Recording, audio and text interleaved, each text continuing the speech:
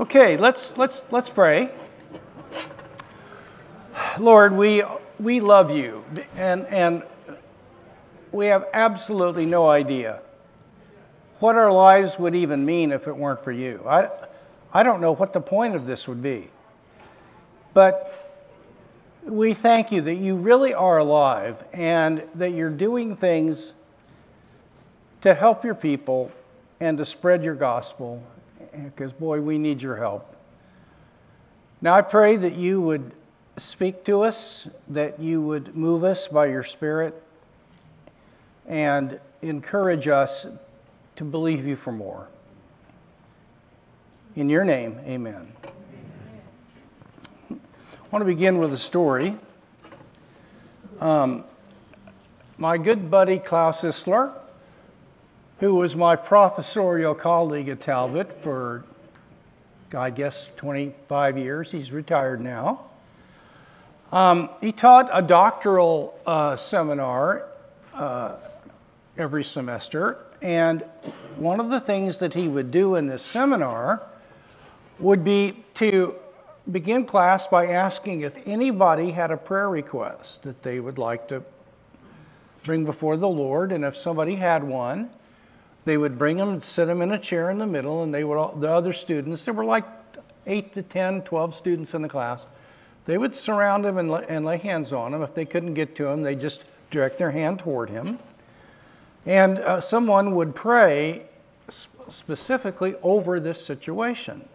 Well, one day, this uh, grad student in the class named Jason, uh, who uh, he was a married guy, and he uh, had left his job with his wife because he really felt prompted by the Lord and had a deep passion to become a pastor and get a, get a seminary training. And so he, he did, although now he was in a doctoral program in, in education. And he said that he told the class, our, our tuition money is due in two weeks. And we, we don't have the money. And I've, I, I have, I've talked to my parents and they just can't help. My wife's parents can't help us. And I'm going to have to drop out of school because I'm not going to take any more of loans. I can't do that. And I, I, I want to pray for a specific amount because I, I just need God's reassurance that that he really wants me to be here, or maybe I've misunderstood his direction. And what I need is $2,117.60. and that's, that's my tuition bill. And I'm, I would like the class to pray for that. So Klaus said, We'll do it. Everybody did this, and, and he prayed over this student Jason, Lord, you know the situation. And our brother here needs uh, his tuition bill, $2,117.60 plus. If you would grant him that specific amount, it would, it would it so boost him and his wife's willingness to stay in there and finish their program because they've had some rough times. And they're kind of wanting to throw in the towel, Lord. So they prayed for that. next Monday, class convened, and they were kind of excited to hear what happened. And the answer was nothing. There was no, no funding. And he had, uh, and I think it was until the, the, next, either that Friday or the next Monday, that uh, they had another week. And so they said, well, let's pray again. And they did.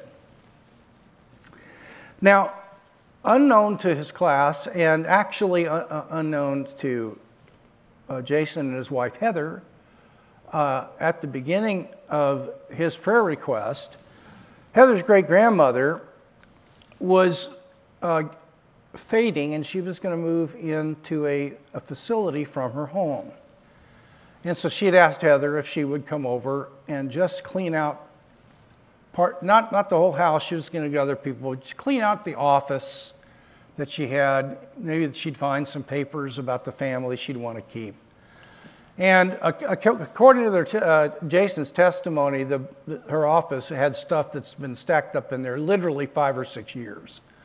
I mean, there were magazines and, and bills and receipts and, you know, insurance policies and, and you know how that goes. And they, were and they, they were stacked up. So she got in there and got a bunch of these big trash bags and just started going through them and tossing them. And she'd been in there for a handful of hours and she was going through a stack of kind of personal things that her grandmother had, and there were, there were some envelopes in there. And she got about, two, uh, according to her testimony, about halfway through the stack, and she bumped into a letter that was addressed to her. And it was stale because the letter had been there for a long time. And it turned out it had been there, I, I forget if it was four years or five years. It had been sitting in the stack. And so she opened it up, and it was a U.S. savings bond for $2,000 made out to her. And it was unbelievable. And she ran home and she told Jason, and Jason said, This is really good news. But I asked the Lord for $2,117.60. And I need, I need, I just, I need God to answer that prayer. Uh, and I'm grateful for this, but Heather understood. She said, Well, I'm going to I'm going to cash it in at least. And he said, Well, of course. And so she went and took the bond to the bank, and it accrued interest. And you want to guess how much was deposited in their checking account? $2,117.60. And when he came to class that next mon- Monday, he was wearing Depends because he was peeing all over himself. He was so excited. so that was, if I may, an answer to prayer. You just put the intelligent agent principle on that. How likely was that? And was, it a, was there anything special about that happening besides the fact that it happened? Yeah, that was exactly what they'd been praying for. That's why the 2000 was meaningful, but it didn't do it for him because it wasn't specifically what he was asking. I'm not saying he wasn't grateful. Did you get the point on that? Now, I could go on and list all kinds of answers to prayer, uh, but I don't want to do that now. I've, in the chap- I've got two chapters in the book on prayer that uh, I have a lot of really great stories that are going to encourage you. By the way, there are 50 miracle stories in that book, and I'll stake my reputation on all of them. I vetted them very, very carefully. And I, I made as certain as you can that these were real events that happened. I called people, I called publishers, I, I asked them tough questions, and uh, I, I, will vouch for every single one of them that they're, they've been vetted uh, and are, are accurate. What I want to do is to clear up some confusions about petitionary prayer. By the way, in my view, the main purpose of prayer in the Bible is asking requests and receiving answers to requests. That is the number one prayer uh, purpose for prayer. The Lord's Prayer is nothing but petitions. Now, worship and forgiveness and those things are absolutely central. And I hate to say one of them's any better, none is better than the other. I'm just saying that uh, asking, laying your requests before God, and, and receiving answers from God is a very big deal in the Old and New Testaments.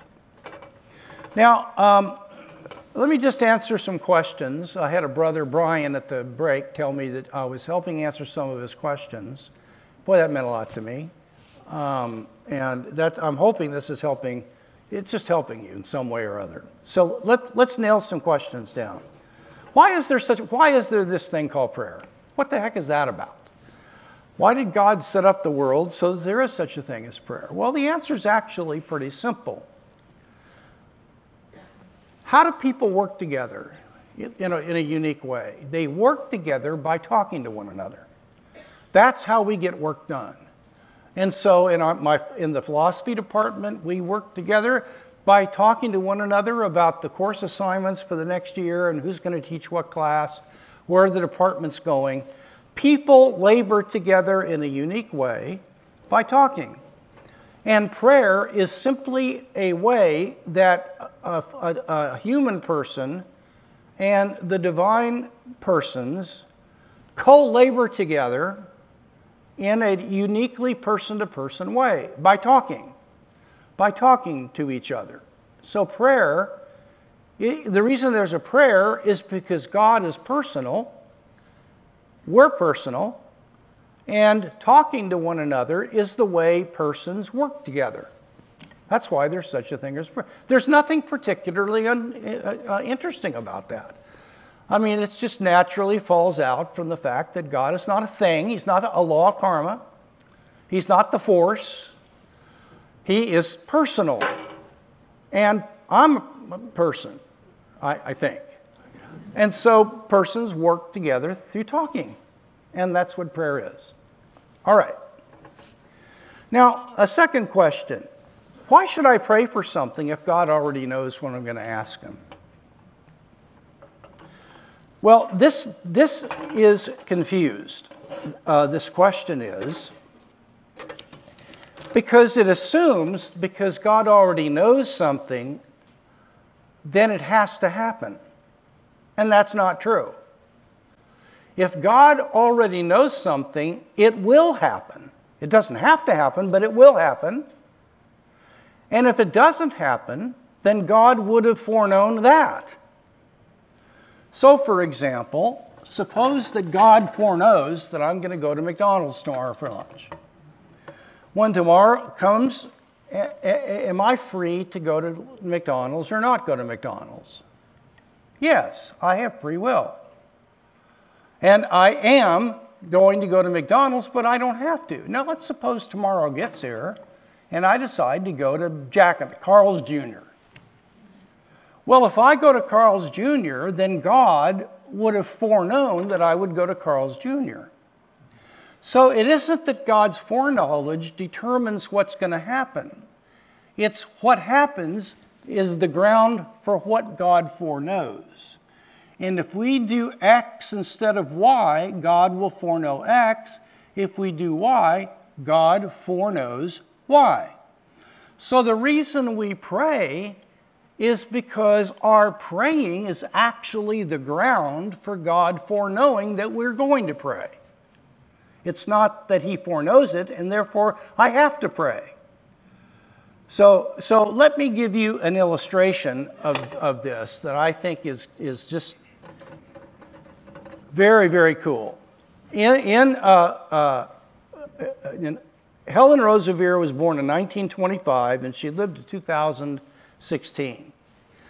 She was from the UK and she was sent out as a single missionary woman and was and spent practically her whole life on the mission field in remote, and I mean remote areas of, of the jungles of Africa.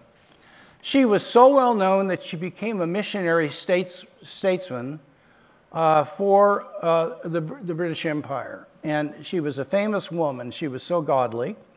And she was sent to uh, and spent a long time in the Congo. And she established out in the middle of nowhere a, a school for young girls to come and to learn reading, writing, and arithmetic and, and, and about Jesus and to win them to Jesus and build them in the faith. This, this place was so remote that they would get, they would get a mail run there anywhere from every uh, two, mo- two months to four months. There was no telling when it was going to happen, uh, but uh, that's about how regularly this place was. They had no electricity, they had a wood burning stove, uh, and uh, the, the, building had a concrete slab and, and, and so on. Now, one of the older girls in the school uh, had a baby. And I, I don't know if she was married or not, to be honest with you. But um, this, it was a part it was during the, the winter season when it was really cold, at, especially at night in, in that part of the Congo. It wasn't warm at all. And uh, they, they were in need of more blankets and more supplies, but they did have a wood, a, a, a wood burning stove, and they had a water bottle, thank God, to keep this little baby warm so it wouldn't freeze. And what happened was that this, they, were, they were heating some water to put it in the water bottle, and the water bottle burst. And by Helen's own testimony, uh, she was really afraid because she was afraid the baby would die uh, of cold because they couldn't, it would be hard to put the baby close to the stove because she didn't know the distance. She could get hot on one side and cold on the other and they didn't have a whole lot of extra linens or things like that to swaddle a little baby. And so one of the children said, Well, let's pray that God will, that Jesus will give us a new water bottle. And like I said, this, Helen wrote this in a, in a book, and she said she didn't want to pray for that. Uh, but the, all the little girls said, "Yeah, yeah, let's pray for that." So Helen, okay, well, let's. So they held hands, and this little girl said, Jesus, we have a little baby and you know that we need a water bottle so she won't get cold at night. Would you send us a water bottle? And another little kid said, Hey, while we're asking Jesus for a water bottle, let's ask him for a little teddy bear. The baby, the baby'd like a teddy bear. and, and Helen's wanting to die, you know, under the bed or whatever. And so they prayed for a teddy bear. And said, in, in Jesus' name, amen. And that, that was that. Well, they had not received uh, a parcel in the mail for four months. Okay, now, the, the, listen, this is, this is all factual.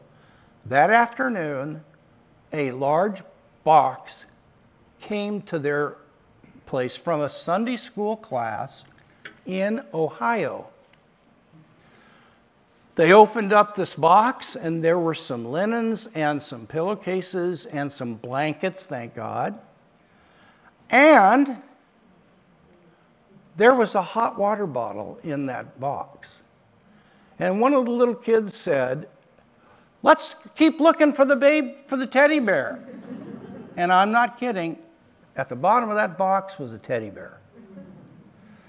Now, they needed a hot, a hot, water bottle. Who thinks to send a hot water bottle to somebody in the Congo? Because everybody thinks it's hot, and it's not. Parts of it are. It was really cold. But there was a hot water bottle in there and a teddy bear. And it came the day they prayed. Now, here's the point I want to make God started answering that prayer four to five months before they prayed it because that class had to put that stuff in a box and send it by boat all the way, and then it had to get taken out to the bush. About a four month trip. Now, God answered the prayer before Helen and the girls prayed it. But he answered the prayer because they prayed it. What that means is that God, in his foreknowledge, knew that they were going to pray for this at a certain date. And because he knew that, he began to set in motion the answer to that prayer so that by the time they asked it, the, the, the answer would come. Had they not prayed for that, I am convinced God would not have answered it. But he, so God answered it before they prayed, but He answered it because they prayed. It was because they prayed and God foresaw that that He did what He needed to do to get the answer to the prayer in time for it to be answered after they prayed. So there is a case where what God foreknew was going to happen four months later caused him to act right then before the prayer was offered. But did he act Whether they prayed or not? No, he acted because they prayed, and had they not prayed, he wouldn't have acted, most likely. So, God doesn't, we, we don't pray because God, uh, God knows what, what, what we're going to do because that's what we're going to do. It isn't that we have to do that because God foreknows it. It goes the other way. So our prayers actually make a difference as to what God foreknows, and it grounds his foreknowledge. All right. Now, there's something else that you need to know about this, and you may disagree with me on this, but I'll be willing to bet you've never thought about it. So it would be a good idea to at least be willing to think about this. Are you ready to put your thinking caps on? This is going to be a little tough. How many of you are willing to do that? Okay. Okay, very good. Things in the world have attributes. That means they have characteristics or properties. An apple has the attribute of being red. It has the property being round, it has the attribute of being sweet, and so on. So things have attributes. Now, some of, some of the thing's attributes are fully, are fully actualized. Others are, are what are called dispositional attributes, and that means that they are abilities to do something if, if that is triggered. Okay, so a stick of dynamite has the attribute of being cylindrical in shape. You, you understand that? It's a little thin cylindrical thing, and that is an attribute that is fully actualized in that stick of dynamite. It has the attribute of having a disposition to explode that's a real disposition, but it hasn't been actualized yet. If something triggers that disposition, then it becomes actualized and it explodes. Now, if you tried to get a rock to explode by heating a fuse, lighting a fuse, and it ran into the rock, the rock's just going to sit there because the rock doesn't have the disposition to explode if something happens to it the dynamite does. Are you there? Right now, I am exercising the attribute of speaking English. I do not, I used to have the dispositional attribute to read German, but I haven't used it and I lost it. But I do have the dispositional attribute to regain the dispositional attribute to speak German. When you're asleep, you have the, the power to speak English, even if you're not. Does that make sense? So some of our attributes are fully actualized. Others we have, but they're in potentiality. They need to be, they, they need to be actualized. Are you there? Okay. Now, some of God's attributes are, act, are fully actualized and others are dispositional. Now, let me give you an actualized attribute of God. God has the actualized attribute of being infinite, of, of being uh, completely perfect as, as, poss- as anything could possibly be perfect. That is an attribute that God has, like an apple has the color red. What about dispositional attributes? Does God have any of those? Yeah. His omnipotence, God's omnipotence means that He has the ability or the dispositional power to do anything power can do, even if He's not doing it. Do you understand right now there's a lot of God's power that He's not exercising? He could be creating myriads of planets and galaxies and all kinds of things. And it could be creating 50 million new people every day. But, but even though there are a lot of things that God has the power to do, He's not doing it. So His power is dispositional, His, his omni, omnipotence is dispositional. That means that he, he has all power, but He's not exercising all power all the time. Are you there? What about his knowledge? See, I think God's knowledge is dispositional. Now, let me explain what I mean by that. To say that God is omniscient means the following For every truth, God knows that truth. So, for any truth, God knows it. And for any falsehood, God refuses to believe it. So, God believes and knows any and all truths. He's, um, there's not a single truth he doesn't know. So that's what it means to say God's omniscient. But does he have to be aware of everything he knows all the time? I don't think so. For example, God knows how many ounces of snot are in all the sheep in the Rocky Mountains. There's a number, and that would be the number of how much snot is in all the sheep's noses in the mountains of Colorado. Does God have to think about that all the time? I don't. I, does he know it? Yeah. What does that mean? That means anytime he wants to, he can remind himself, he can become aware of what he already knows. Right? You got to nod because I don't know if you're getting this. Nod or nod off or something. Okay. So, what that means is that there are a lot of things God knows that, he's not, that he is not aware of.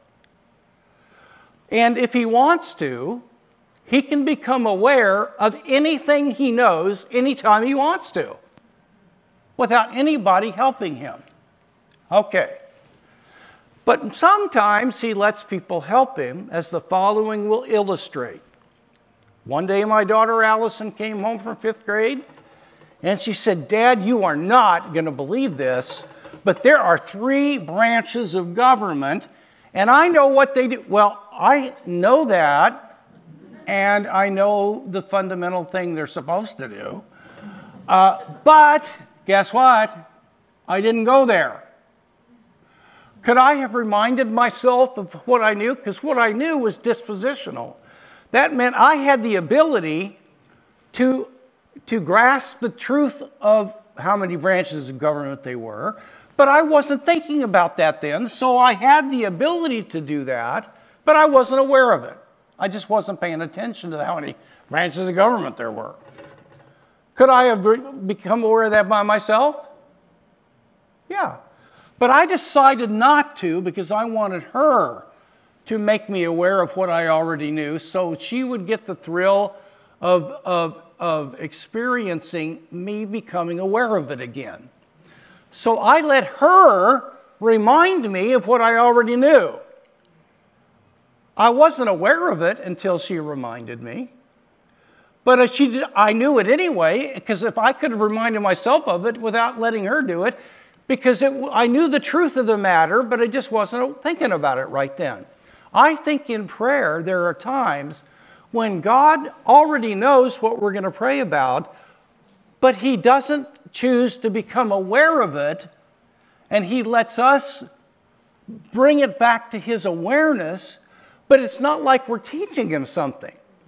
He already knows the propositional truth of what we're going to ask for. It's just that if He wants to, He can do like sin. He, he, he doesn't, he, he, he, blocks the east as far as the way. He doesn't remember your sins.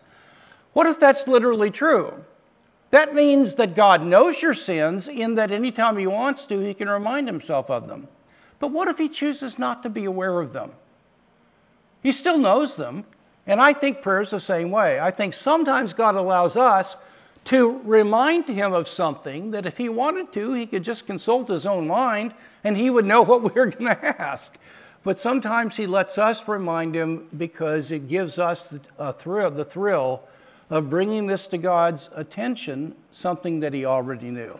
So, so the reason that we pray, even though God already foreknows things, is that A, the reason he foreknows it is because we're going to pray it, not the other way around. And B, sometimes he allows us the privilege of bringing to his attention what he already knows, to give us a chance to be a part uh, uh, of the team.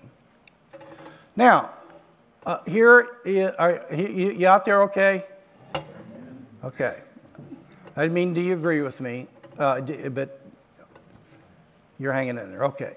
Now, um, two more things, and then we'll have a Q&A time, and then we'll, then we'll go home. Why wouldn't a perfect God just do the, do the right thing, whether we ask him or not? Why wouldn't a perfect God try to do as much good as, as is within his power, whether we pray for it or not? I mean, he knows what's the best thing for your future. Why wouldn't he just grant that whether you ask him for something or not? And why wouldn't he thwart the, the greatest amount of harm and evil that would happen to us, whether we prayed about it or not? So it would seem like prayer is irrelevant. Or you can do what some people do and punt to what the Bible doesn't teach, and that is, well, what when we pray, we're just trying to align ourselves with God's will. Well, that may happen sometimes, but a lot of times is we're trying to persuade the Lord to do something. I mean, the, the, the word for prayer in the Old Testament is reeb. That's the Hebrew word for bringing a court case to a judge to persuade him to do something. And we are, in the Old Testament, they, God invited people to come and bring their persuasive case to God that he might answer the prayer. And that's what happened with Sodom and Gomorrah. God listened and was persuaded to answer a prayer. And Martin Luther said, you better, when you bring your prayer to God, you bring a persuasive prayer. And you give God reasons for why he should answer this, and it's in his best interest. All right. Well, the reason that God doesn't, isn't going to do good things for you if you don't ask Him, and why He won't thwart bad things unless you ask Him, though He will sometimes, is because God has a bigger purpose in life than by the end of time achieving the greatest amount of good possible and thwarting the greatest amount of evil possible. That's not his purpose. If it were, then it wouldn't matter what we did.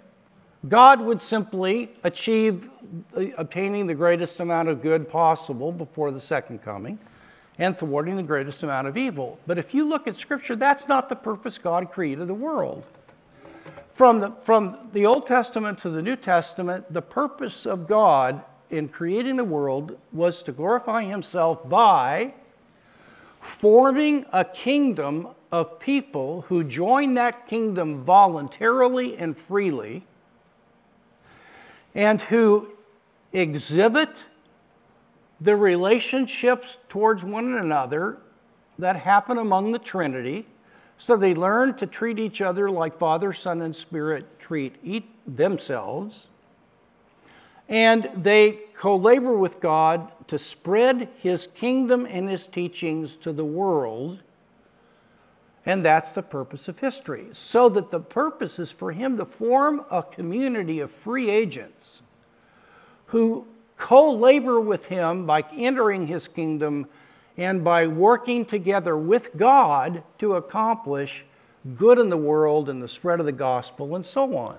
Now, what that means is that sometimes God will not do a good thing for us because we don't ask Him, because He's more interested in getting us to learn how to ask and depend than to granting that good thing. He's more about getting us to be a to, to be drawing near him and working with him in his kingdom. There are times when he will let a harmful thing happen to us because we didn't pray for this not to happen. Because God's purpose is not just to let us get through here with the least amount of harmful things happening to us. His bigger purpose, he doesn't want harmful things to happen to us, but he's got a bigger fish to fry. And that is to produce in us a certain kind of person. A person who is suitable to live in the kingdom who's learned to be dependent on God and to work with Him to accomplish God's purposes. Now, in order for that to happen, He's got to let us have a say in what takes place in human history, or else it's a puppet show. Now, that's my view of free will, and you may disagree. But assuming I'm right for the sake of argument, then that means that what we do or don't do is going to matter. And that means that what we pray for and don't pray for is going to make a difference in the net amount of good and evil that happens in world history by the end of the age. So that our prayers and our laboring with God is more important to Him than just going ahead and thwarting evil and doing good, irrespective of whether we cooperate or pray or do anything else. Now, sometimes he does that, but there are other times he doesn't. That's why praying is important. And I'll give you an illustration. You remember in uh, 2 Corinthians chapter 1, uh, eh, uh, uh, I think it's verse, uh, let me see if I can read that. 2 Corinthians 1 11. Paul, Paul said that, that he's going through a hard time. And he says, But God, is, God will rescue us through the prayers of many so that the many who prayed will be blessed when the answer comes. Now, what does that mean? I used to think, why, why in the world would I want to get a lot of people praying for something? I mean, if I'm praying for it, God, God hears it. Is he deaf? I mean, he needs 100 people praying for it. What's that? I don't believe that. I, asked God for it, and He knows the need now, and I've told Him, and, and He's going to do what He, you know, what He's going to do. That's it. Why do I need to get a bunch of people praying for it? Well, I was an idiot, as I typically am, because I forgot that God's other purpose in answering prayer is to bless as many people as possible with the answer. The way to do that is to get more people praying for it. That way, the more people that are praying for something, when the answer comes, all the people that were praying for it are blessed by the answer to prayer. If I just do it myself and it gets answered, I get blessed, but nobody else does. So, so that's one of the things, that's why we get more people to pray, and so on and so forth. Now, we've got about 15 minutes, and we're going to have a little Q&A. Uh, that, I was attempting to clear up just some uh, questions you may have about prayer. And uh, there are a lot of exciting examples that you can read about uh, that will really bless you, I assure you, but I just don't want to spend the time going over those now because I know some of you have comments and questions. So uh, if, you, if you want to ask a question, oh my gosh, there are people out there. uh, feel free to uh, come up to the microphone and introduce yourself. Uh, there are microphones in two places. And uh, is there someone there? Just, and by the way, if you don't think you've got a good question or know how, don't think it's well formulated, that's okay. Just say, we'll work on it together. we're all friends in here, and so if you got a question that you're thinking, I don't know if I got it uh, really well formulated. We'll get up there and we'll formulate it together. No, no, pro- no, no, nobody but us chickens. Yeah, yes. Go to the microphone there.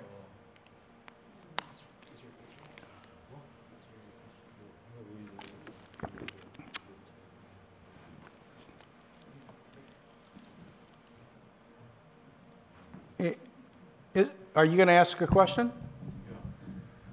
Well, how, how, do we know it's a miracle or we just take God for granted or think it's a coincidence?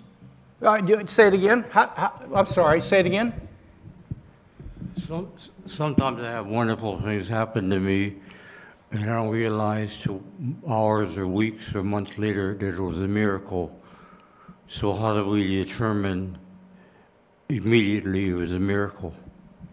Well, I gave you, I gave you a way to know and it's that principle that had if it's improbable and if there's something special about the event, then those two put together mean it wasn't a coincidence, it was a miracle. If it's just improbable, but there's no, there's, there's no particular thing that's special about it, then it's probably just a, a, a random event.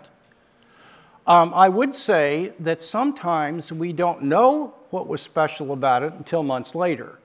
So while it was a miracle, we, we weren't able to recognize that it was one until we, it dawned on us later on, having more information oh my goodness, I see why that happened now.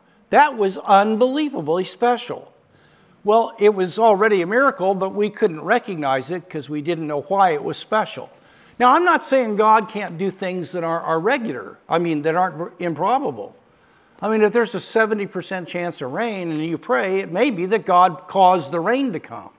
The problem is if it's, if it's likely, we don't know it was a miracle because we don't know if it, because it would have been likely to have happened whether you prayed or not.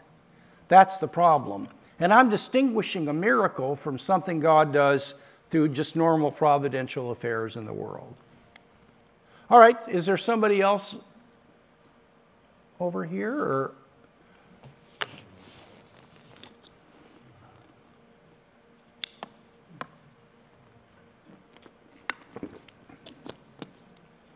Yes, sir. Hi, I'm Charlie. Hi, Charlie. Good to see you. Oh, yes. Um, I'm curious. So, as Christians, I know we all believe that God can make miracles happen. Yes. Um, but the secular people don't really believe it. And I sometimes wonder personally, like, if like Uh, we believe we have so much proof that there are miracles, but I don't like the a- word proof. Maybe not proof. Can, can, can, I want to let you finish your question, but there's a, this is a teaching moment. Mm-hmm. People say, Can you prove God exists? And I ask them, What in the world do you mean by proof? I have no idea what it means. I know what it means in two fields logic and mathematics. And a proof is where you start with premises and you're able to generate a conclusion according to the rules of that logical system without ending up in a contradiction. That's a proof. I don't know what a proof is in history. Can I prove George Washington exists? I don't have any idea what you're talking about. What we're looking for, can you show beyond reasonable doubt? Proof, get, let's not use that word because atheists use it because it sounds like it's a 20 foot high hurdle or 30 foot you got to jump over. And I think it's unfair. So I'd rather just use we've got strong evidence or we think we have evidence that places this beyond reasonable doubt. I'd rather use that. Now, please go ahead. Yeah. Sorry. No, I, trying totally, to. I totally understand. Yeah, good. Good. and I'm just always wondering, is like, why, how, why do we feel like we have such Strong evidence. strong evidence for for such a thing, but there's such a large group of people that doesn't and doesn't Yeah. believe the, the same thing. And I always wonder, are we missing something? Well, yeah, we're not talking to them and giving them reasons to believe. We're afraid. We're cowards because we don't know why we believe.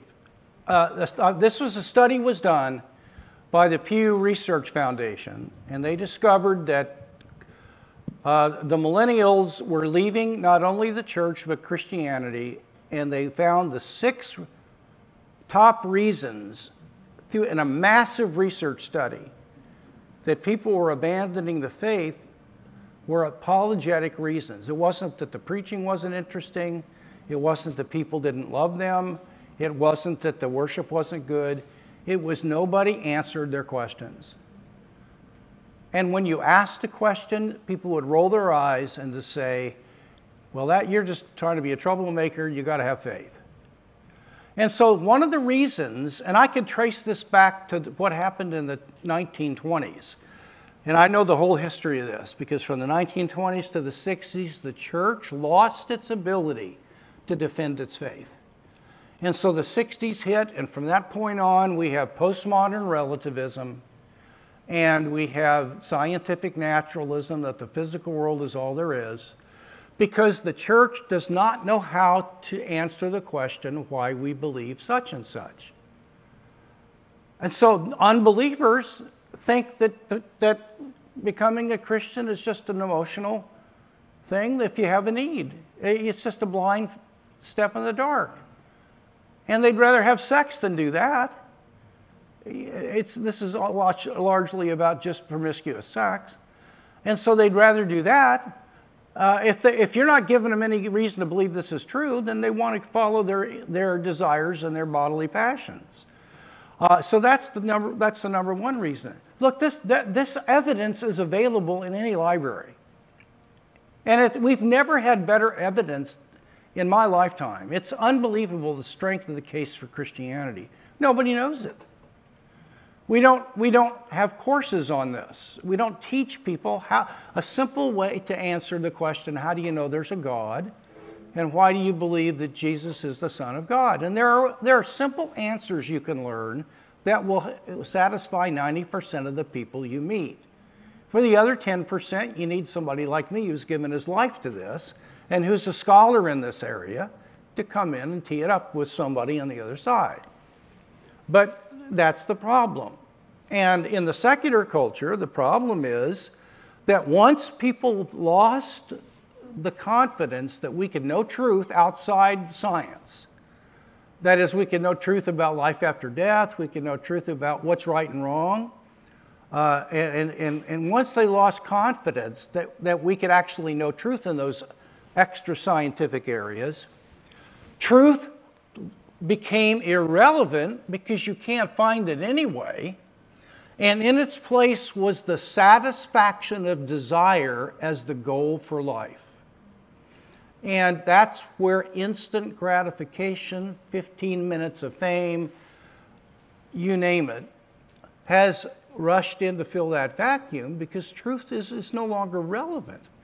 This is being taught in universities, in the humanities departments. So I think those are the couple of reasons. People, uh, even, and I, I, I, that Jewish woman was a, did not believe. She became a believer because of a miracle. And my, Beverly, my sister-in-law, is married to a Jewish man who's not a believer. They live in Florida. She went to Neiman Marcus. I call it Neiman Markup. But she went there and she bought something and she went to check out and she saw this guy at the checkout counter and she just sensed he was Jewish.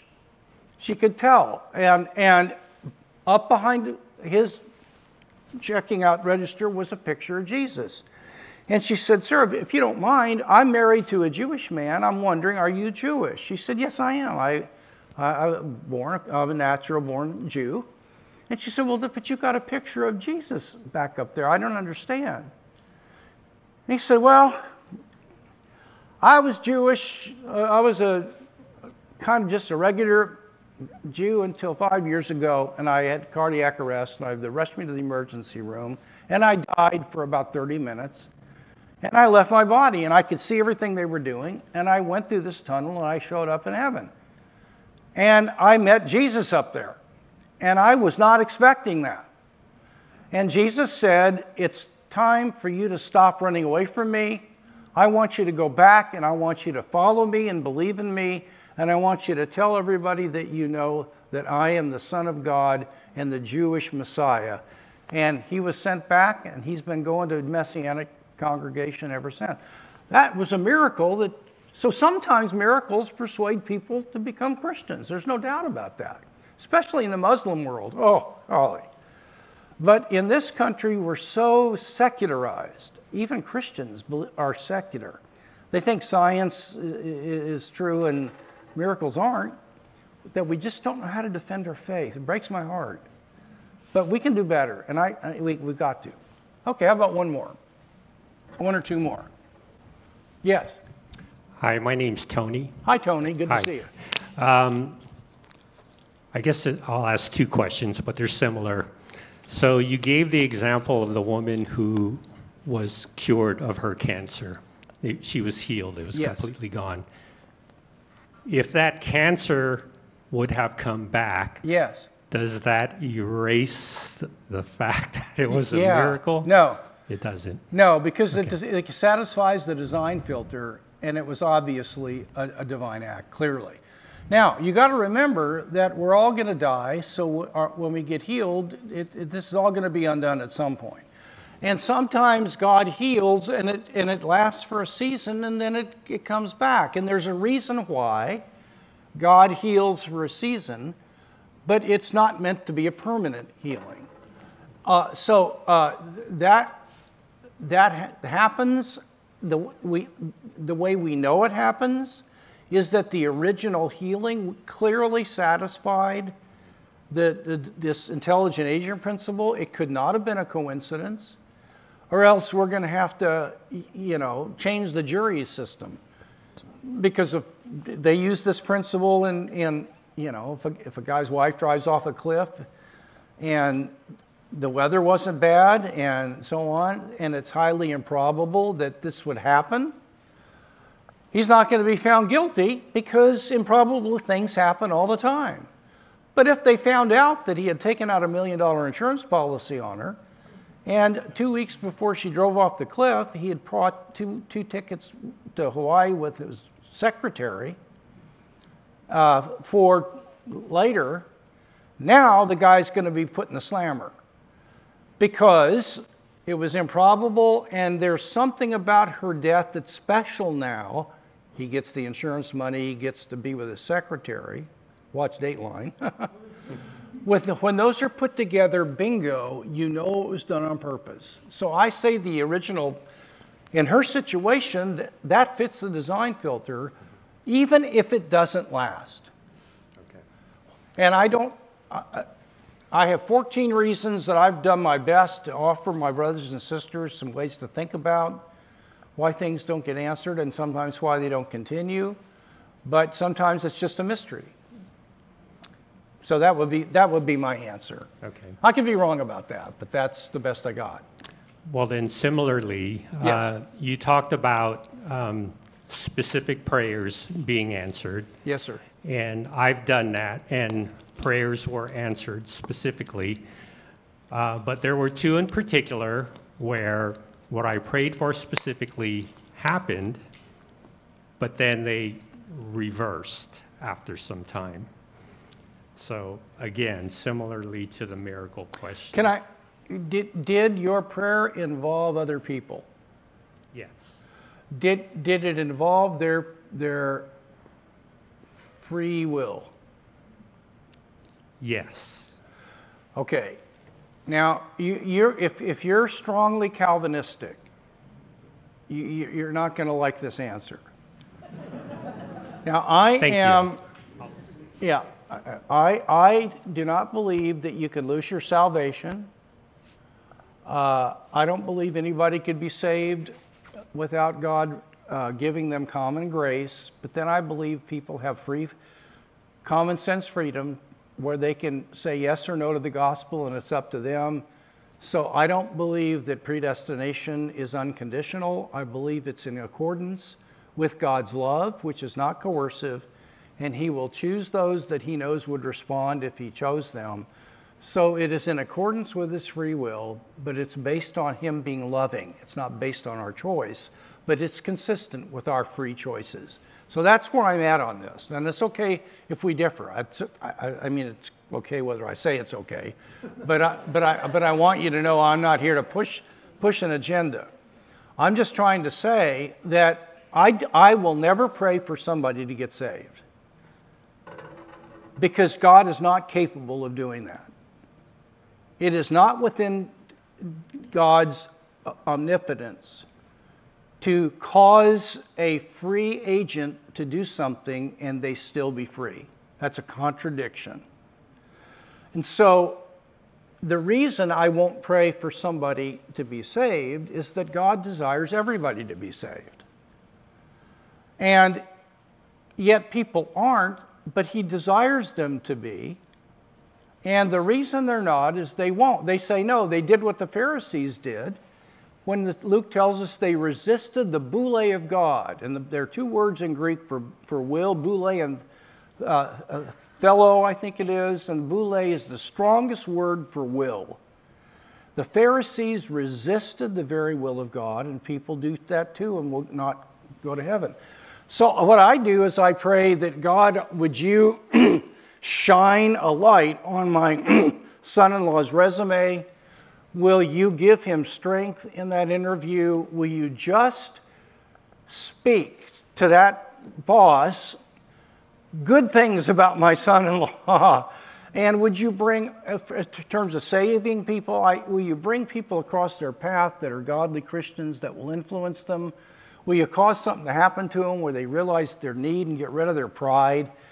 But I'll stop short of praying that they'll get a, a job because, because I think that that God has condescended to where he has chosen, he didn't have to do this, but to give us free will, and he's not going to violate that. He could have done it differently, but he didn't, in my view. If that's the case, then it's up to the bosses who, he, who gets hired. Okay? so the reason that sometimes a prayer gets answered, like if you're praying for somebody to, to turn around and go a different direction, and they do, that could very well be that God prompted and did things short of coercing, and they listened. But after a while, they began to harden their heart and they stopped listening and they, they decided to turn away. And that was God answering their prayer, but given free will, and this involved free will, what they end up doing with their lives is up to them. And they have nobody to blame. I don't mean to be mean spirited here, but themselves, not God's choices. Okay, that's, that's how I would answer that given my theology, and those with a different theology may answer it differently, and that's fine. How about one more? I'm, is that okay? I'll, I'm, I'm getting a little tired. Hi, I'm Jack. You? Um, I guess my question, like you mentioned, like Christian or churches nowadays, they, you know, they believe in science more than miracles. Obviously, through, you know, through the sharing of like your sharing, like miracles still exist. Like, it, like, what is the big picture? Like, of course, I know like things that through your sharing of miracles, like it's going to strengthen our faith. But is God like what is God trying to show us? What- What's the big picture? Just trying to, What am I trying to show you? yeah. Yeah. I'm trying to say that, that, okay, you do not have direct control over your faith, over what you believe. If, just to prove this, I will, I will quite literally pay anybody $500 if you will believe one of the following that there is a literal pink elephant flying above my head, that 2 plus 2 is equal to the square root of minus 1, that there never was a being called George Washington, and the Atlantic Ocean is filled with ping pong balls. I'll give you $500 if you'll believe that. And not a one of you can believe it. Even though you have motive, because you're not, you don't have the power to choose to believe something you don't believe. Now, what you do have is the indirect ability to believe something. So, if you want to change what you believe, you can't will yourself to, to just change, or else you'll be fake. You'll be a fake. You'll talk like you believe it, but you really don't. If you want to change what you believe, the first place that you have freedom is where you put your mind. And what you can do is to start looking into things, start reading things that beef up this point of view and reasons for the other point of view not making sense. Talk to people, be, become a detective, an evidence gatherer. And in the book, I list how you can start believing in these things more strongly. And I've got uh, uh, six or seven specific things you can do. For example, subscribe to the Jesus Film newsletter and read that thing every time it comes out. And you're going to see the book of Acts is happening all over the world.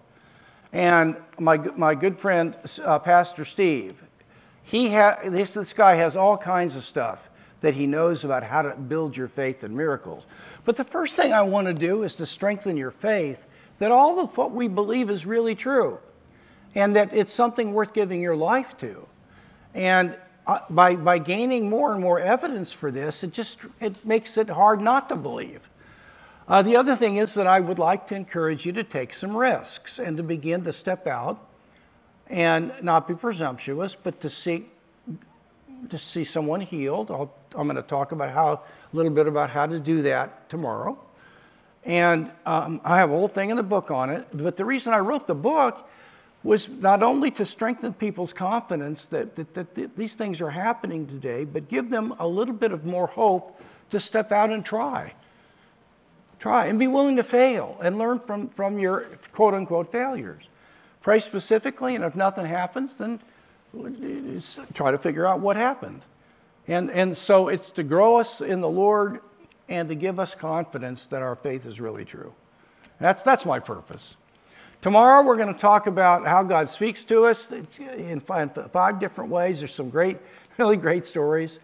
And I'm going to give you, I think, something that's going to relieve you about, you know, how do I know it's God and how I know it's me. I think this will help you.